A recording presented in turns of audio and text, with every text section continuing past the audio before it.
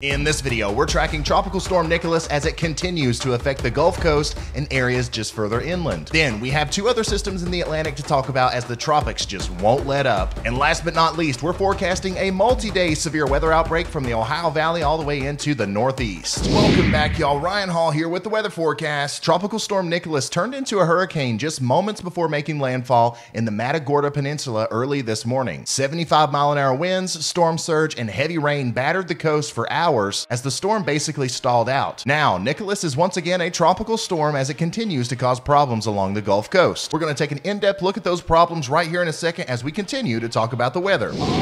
Right, here's a big old look at the United States of America. And once again, we have two main features that we're looking at. If we zoom in up here in the Great Lakes region, you see we've got a big storm up here going into Canada that's got a little feature drawing behind it, a little bit of a frontal boundary that's going to bring us some storms today and tomorrow and the next day. That's yet another thing that we have to get really in depth on in this video. And if you want to skip around to the different parts today, I have timestamps in the description uh, if you only want to watch the parts that pertain to you. Uh, but we're going to get to this here in a minute. But let's start off by talking about Tropical Storm Nicholas as it's now inland and still causing problems from Port Arthur all the way over to New Orleans, as it does look like it's now moving a little bit at least. It was almost stationary for a while. That's good news for Houston. I think a lot of people, especially on the northwestern side of Houston, uh, dodged a bullet with this one, but that's bad news for Louisiana. Let's check it out on the weather models. All right, here's a look at Tropical Storm Nicholas right now on the North American model, the three kilometer version. And right now, we've still got winds out there 50 to 60 miles an hour, and it's moving towards the north northeast at 8 miles an hour. And I think it's going to speed up a little bit as we go into the future. Here we are at 10 a.m. If you want to keep an eye on the time, it's always above my head up there. Uh, and remember, that's going to be an Eastern uh, time because that's where I am. But as you can see, you can still see the swirling motion here. We've got a pretty big precipitation shield on the top end of the storm. And then we've got this boundary feature on the southeastern quadrant of the storm, uh, which is uh, producing a bunch of supercells, probably a lot of water spouts out here. Uh, and that may actually become a problem later today if this uh, storm can eject north and east enough, as maybe some tornadoes will be affecting the southeastern Louisiana area, which uh, is unfortunate because there's still a lot of people down there that are without power from Hurricane Ida. Uh, seriously, like hundreds of thousands of people still without power. Um, and it's been quite a while since we've had Ida. So if you know anybody down there, just in case they're not connected, if they're not paying attention to the weather, uh, make sure you share this video with them or just text them and let them know, hey, watch out today. You've got a tropical storm or at least a portion of what was a tropical storm coming through your area. And Ryan Hall, y'all said that you might have a tornado or two. So just make sure you're weather aware today. As we go later on into the day, the first thing you're going to notice out here in southeastern Louisiana is going to be the heavy rain, okay? Between noon and 3 p.m., that's when it's going to get really heavy. Uh, we're going to see some isolated flash flooding problems because of that. Also, we've got this big stationary uh, precipitation shield here in the extreme southeastern portions of Texas, getting ready to move into the uh, border area between Texas and Louisiana there. And guys, once again, the main threat here is going to be flash flooding. Uh, we saw some really bad flash flooding last night in extreme southeastern areas of Texas, especially south and east of Houston. Once again, thankfully, Houston, I think you dodged a bullet here in the downtown area, uh, but areas just to your south and east, man, they're getting a ton of rain and there's more to come, especially to the east and to the northeast as we go into the future. So let's pull this thing out a little bit more. And here we are at 9 p.m. tonight. And as you can see, there's a couple things uh, that are interesting that's going on here. Uh, the center of circulation is still way back here uh, in, in portions of Texas and maybe just getting ready to move into Louisiana. And normally in a situation like this, you'd have the most heavy precipitation right here next to that center of circulation, causing, you know, an absolutely astronomical flash flooding situation down here. And it's still very possible that we see some very bad flash flooding, especially in southwestern portions of Louisiana and this eastern portion of Texas. But it's not going to be as bad as it could be because we still have that wind shear uh, that's taken a lot of the convection here and lofting it off to the east. So a lot of this energy that's getting all the way over here into the western panhandle of Florida and central portions of Alabama uh, was supposed to be right here in this portion of the storm. But thanks to that upper level wind pattern, it's kind of tearing it apart and sending it this way. So all that energy is getting spread out rather than being focused in one area, which is a good sign. Uh, but still, don't let your guard down. Flash flooding, deadly flash flooding is still going to be occurring down here in this portion of the world. So make sure you're ready for that. Now, the, here's the thing that isn't so good about that upper level wind pattern. It's going to meet up with some northwesterly flow here as uh, these storms are forming on the southeastern quadrant of that low pressure system. Once again, probably causing enough spin in the atmosphere uh, to cause uh, water spouts and tornadoes along the extreme southern portion of this storm. I think southern Louisiana and all those places we were talking about a lot during Hurricane Ida, uh, I think you guys are under the gun today for, you know, an isolated uh, tornado or two. I don't think this is going to be a huge tornado outbreak, but absolutely, uh, there's uh, almost certainly going to be at least one tornado today. So if that one comes down your street, it doesn't matter if this is a big tornado outbreak or not. So just make sure you have your plan in place.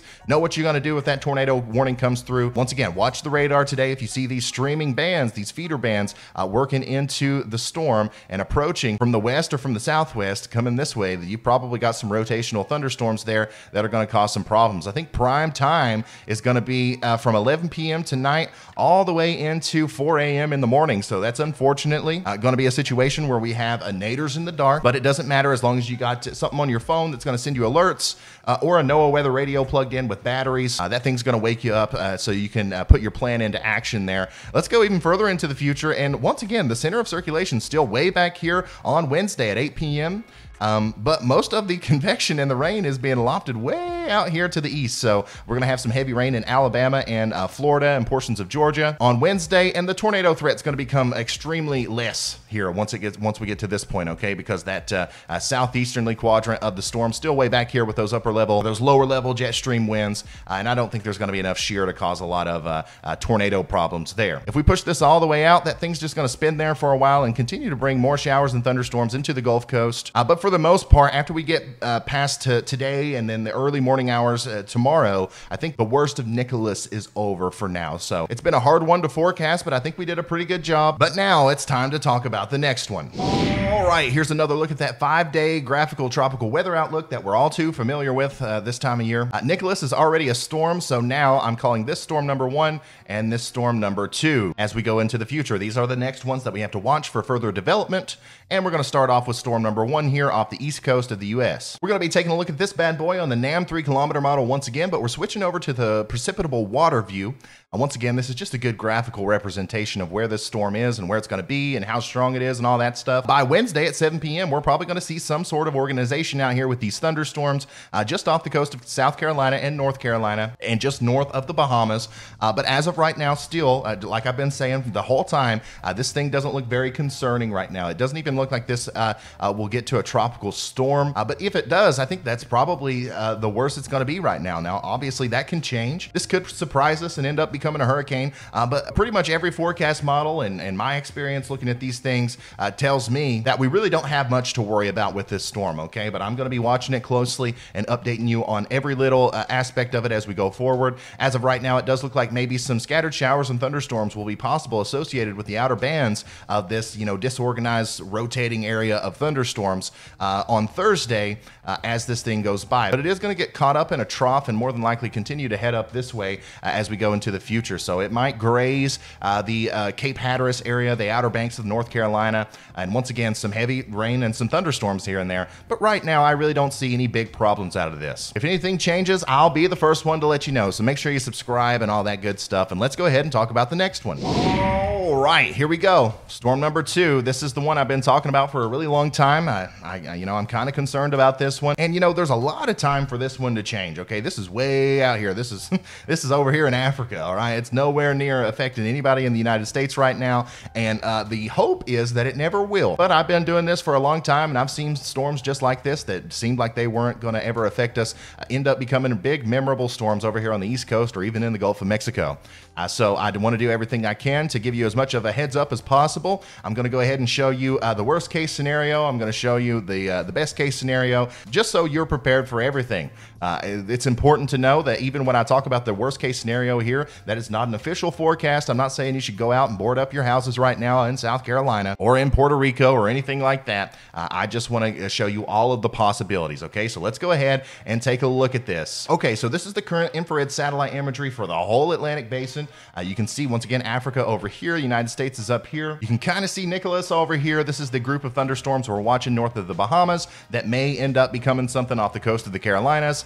And this is storm number two. Okay, this is the uh, wave that's coming off of Africa right now that may end up becoming a hurricane, possibly even a major hurricane, at least until it gets to this area right here. Uh, it's really got nothing stopping it from, you know, uh, strengthening a lot. And it's once it gets right here where we really don't know what's going to happen after that, okay? Because this thing's so far out, the, the forecast models are really unreliable at this point. But what we do know is it will likely stay together as some sort of tropical cyclone and at least make it into uh, somewhere in this region right here. Now, from there, it's got a couple different options that it can go with. Obviously, it can recurve up into the Atlantic Ocean like Larry did, or it could continue to go to west and then recurve at the last moment, or it could go west and then recurve a little bit less and hit the uh, you know uh, eastern portion of the United States, or it could cruise down here south of the Caribbean islands and enter the uh, Gulf of Mexico. Or it could come over here and then die out right around Puerto Rico or something like that. All, all of those possibilities are, are in play right now. Uh, so, you know, I can't tell you exactly what's going to happen, but those are the possibilities.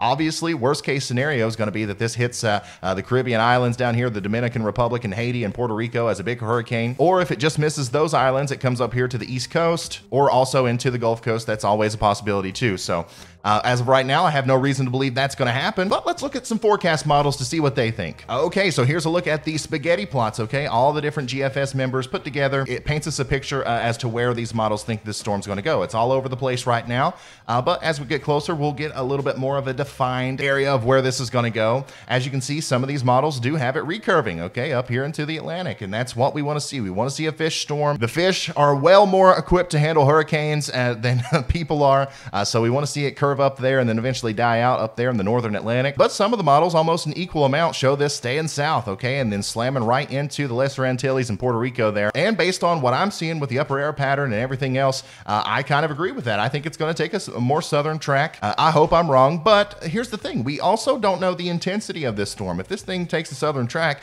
it could still just be a tropical cyclone, tropical depression, tropical storm, or low-end uh, Category One hurricane uh, by the time it gets to Puerto Rico, and then the islands tear it apart. Uh, but the only thing that I'm sort of uh, confident on is that this is going to take a more southern track. Uh, as far as the intensity goes, we won't know until we get closer. Here we're looking at the GFS model, the 850 millibar uh, winds. It's going to be a good way to visualize where the storm is. Right there she is. As we go into the future, that's probably going to be a you know a tropical storm or a hurricane here around Sunday, September 19th. Today's the 14th, so you know we're still quite a ways out here. Things are going to change, but as you can see, it's taking that more southern track, just like I think. But the GFS, once this gets close to the islands there and Puerto Rico, the GFS tears the storm apart and it just disappears. Despite us having a pretty strong high pressure here to eject this off to the west and a big trough over here to kind of keep it, you know, further south, which is not a good situation in this sort of setup. Uh, thankfully, the storm just completely goes away. But what causes that, and, and do we buy it? So if we look at the wind shear values here, we can see exactly what causes it. So we've got this piece of energy over here, this sort of uh, trough in the uh, the wind shear anomalies here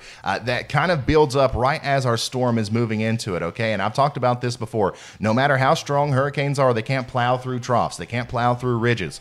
Uh, so the GFS knows that, and once it meets up with this little feature right here, look at this. It enhances the wind shear there and takes away our storm almost completely. If this is what happens, if this storm actually does get blocked by this uh, feature right here, uh, there are two possibilities. The first possibility is yes, this storm is going to completely get torn apart and we don't have to worry about it anymore. But if this storm is a little bit stronger, okay, if this thing is like a category two or category three storm at this point, and it's uh, moving west at a pretty good clip. Uh, once again, storms can't plow through troughs, but a storm like this could actually uh, ride through the southern end of it, okay? Kind of absorb it and, and use it as a, a slide almost uh, to go south of the Caribbean islands. And then once it gets past it, uh, obviously it'll deteriorate and weaken some there. Uh, but once it gets past it, it could reform here south of the Caribbean and then come up into the Gulf of Mexico. So those are the two options if the GFS is correct. I promise you, as we get closer to the storm, I'll have more concrete facts for you. I just wanted to let you know everything that I know right now. All right, last but not least, we're going to talk about this severe weather threat we have up here today in uh, the Great Lakes and Ohio Valley regions, and then tomorrow in the Northeast. Storm Prediction Center does have a slight risk out there from Michigan all the way down into Illinois, and let's see why. As we go into the future today, that big storm is going to trail down a cold front and cause some, uh, maybe some supercell storms, but certainly a big line of of storms uh, from Michigan down into Illinois.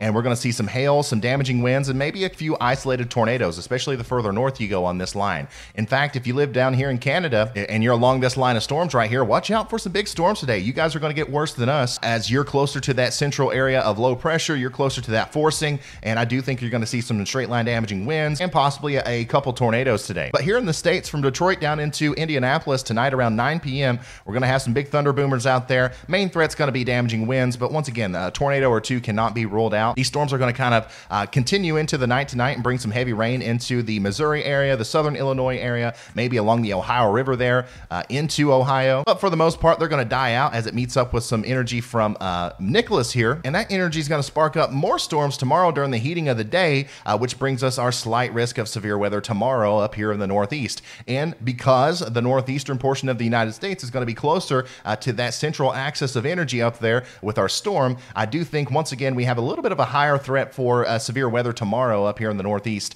especially with those isolated tornadoes uh, from you know 4 p.m. tomorrow all the way through 9 p.m. Uh, from central New York all the way up through Vermont, New Hampshire, and Maine. Uh, but even south of that, where the wind shear isn't as bad, and we're not going to have as much rotation from West Virginia into Pennsylvania, portions of Maryland, uh, and then eventually into uh, New Jersey and, and uh, uh, Connecticut and Massachusetts as well. You guys are definitely going to see some, you know, severe weather tomorrow. Some small hail and straight line damaging winds in excess of 60 miles an hour here and there. I do expect to see lots of tree damage and, and, you know maybe some power outages. and once again, I definitely think we're going to have a couple tornadoes come through. but this is just a situation where you need to be, uh, you know, uh, vigilant and weather aware. You don't need to be scared. Be prepared. All right, that's all the weather talk I have for you today, guys. Thank you so much for being here. Uh, if we see any sort of uptrend for the pattern tomorrow with these storms in the Northeast, or with our storm out in the Atlantic Ocean, or with Tropical Storm Nicholas, I will be right back here with another update. So make sure you slap that like button, subscribe if you haven't already, and turn those notifications on. And I will see in the next one. Goodbye.